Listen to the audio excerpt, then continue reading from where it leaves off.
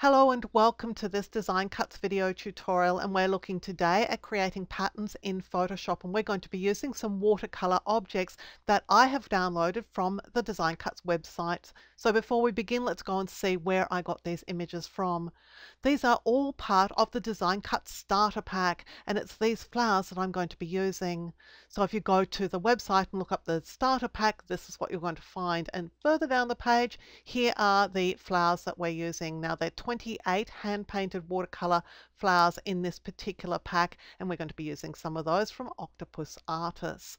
So let's head back to Photoshop and I've already opened one of these images but I want to create my pattern in a brand new file. So I'm going to start with a new file. So I'll choose File New and I'm going to make my document a thousand pixels by a thousand pixels. I want it to be an even number of pixels and I want it to be a memorable number of pixels. So a thousand by a thousand is a pretty good size. I'm using a white background in this case, so I'll click OK. I want to go and get this image into my pattern file. So what I'm going to do is open up the layers palette here, right click this layer and choose duplicate layer. And when I make a copy of this layer, I can choose where I want to put it. So I'm going to put it in my new untitled one file and click OK. And when we head over to the file here, you can see that the watercolor element has been added to the file. It's got a background and our watercolor element.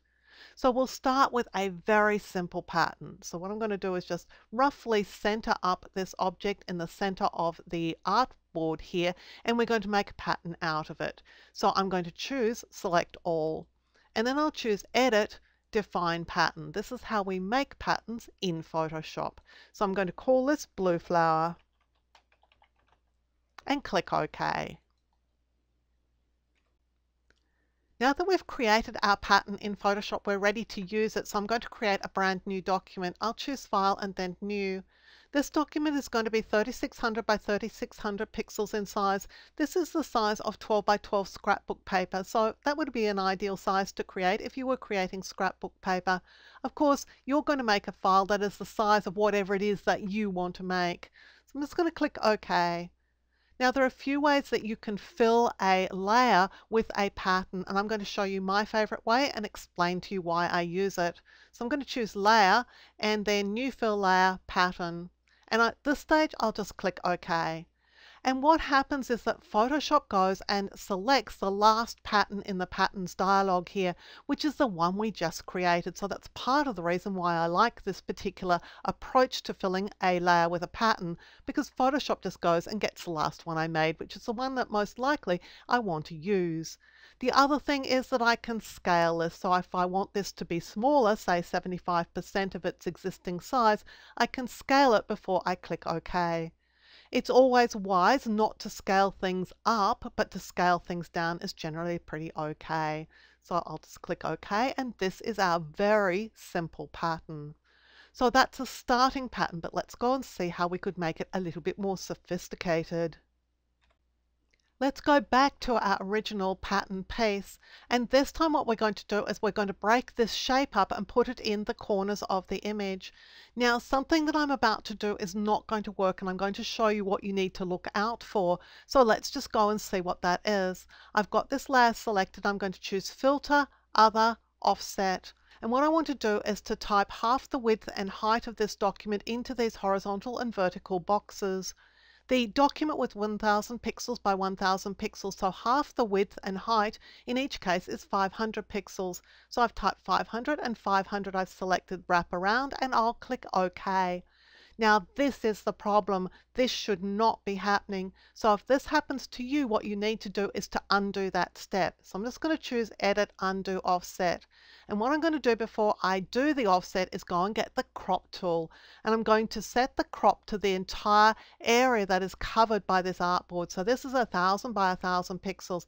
I'll just double click to make sure that this image is cropped away. This time when I do the offset, it's going to work perfectly. So let's again go and choose filter, other, offset.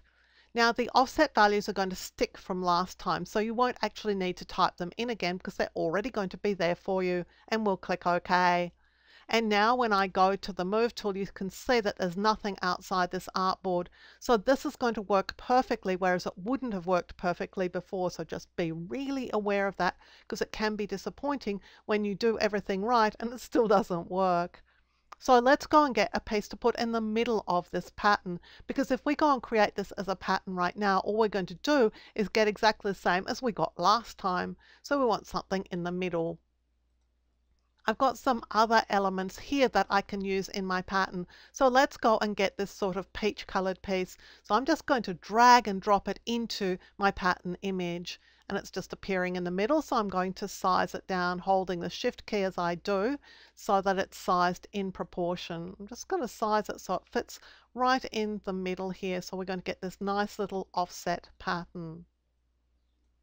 So I'll click the check mark. Now what we'll do is we'll take everything by choosing select all and then edit define pattern and we're going to call this two flowers. And we'll go back to our working document which is this 3600 by 3600 pixel image. You'll see here in the layers palette that I have a pattern fill layer and what I can do is just double click on the layer thumbnail to reopen the pattern fill dialog. I'm going to click the drop down and choose the last pattern, which is the one that I just created. Here it is at 75% of its original size. If we want to go back to 100%, we can just type in 100% and click OK. So you can see that this time we've got a more interesting pattern because we've got some things happening on the diagonals rather than just being a square up and down pattern. Let's recap this pattern making process by creating a brand new pattern from scratch. I'll choose File and then New. For my pattern piece, I'm going to make it 1000 pixels by 1000 pixels in size. I'll click OK. Now I need to add some elements in here, so I'm going to choose File and then Open.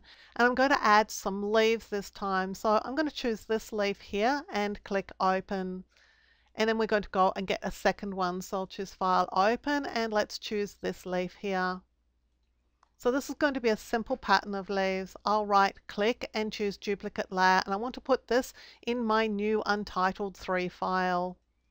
And then we'll go and add the other leaf there. So again right click, duplicate layer and we're going to put this in untitled 3. Let's go to Untitled 3 where we've now got our two leaves. So the topmost leaf I'm going to turn off right for now so that I can concentrate on this leaf here. I'm just going to make sure that it's cropped to the image size or the artboard size. I'm going to click the crop tool and double click here. That's going to stop any problems when I go and do my offset filter. With the leaf layer selected, let's choose filter, other, offset. And again, the offset filter is already populated with the values I need to use. Half the width of the artboard or the image and half the height of the artboard or image. Wrap around, click OK. So these leaves are going to join up together later when we create our pattern. And now let's put the middle leaf in. Well, this one might look better if it was rotated. So I'm going to rotate it around approximately 180 degrees. It doesn't have to be exact. I think that I can probably get a more interesting result by tipping it on its side just a little bit. It also does not have to be centered, but if I don't want to have problems later on, I want to make sure that it's inside the artboard. So you can see here, it's well inside the artboard. So let's select everything, select all, and let's make a pattern from this. I'm calling it leaves. Let's go back to our working document, which is this 3600 by 3600 pixel document. I'll double click on the pattern fill layer, click the drop down here, and here is my leaves pattern. At this point, I can make it smaller if I want. So here's one at 50% of the original size, and I'll click OK. These patterns are going to stay in your pattern fill dialog for you for as long as you, for example, don't reinstall Photoshop or reset your preferences. These patterns are always going to be here so that you will have access to them. I hope that you've enjoyed learning these Photoshop techniques. Let us know what you think in the comments below and give us a thumbs up if you liked the tutorial. Until next time, I'm Helen Bradley for Design Cuts.